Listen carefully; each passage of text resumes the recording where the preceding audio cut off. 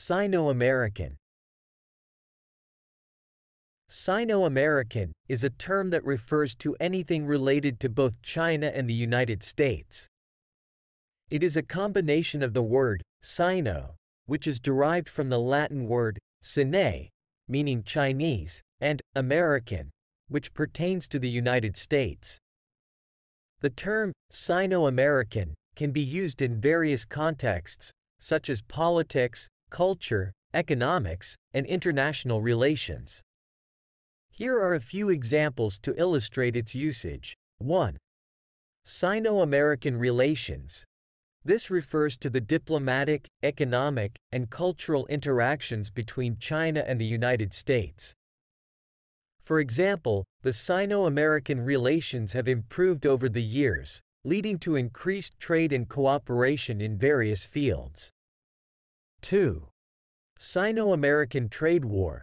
This term describes the ongoing trade dispute between China and the United States, involving tariffs and trade barriers. For instance, the Sino-American trade war has had a significant impact on global markets, affecting industries in both countries. 3. Sino-American cooperation in science. This phrase indicates collaboration between Chinese and American scientists in research and development.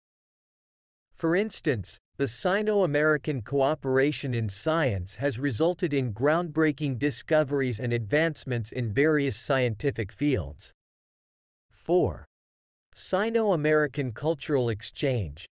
This refers to the exchange of cultural ideas, practices, and traditions between China and the United States. For example, the Sino-American Cultural Exchange Program allows students from both countries to learn about each other's customs and traditions. In summary, Sino-American encompasses anything that involves both China and the United States, and it can be used in a wide range of contexts to describe relationships, events, and collaborations between the two countries.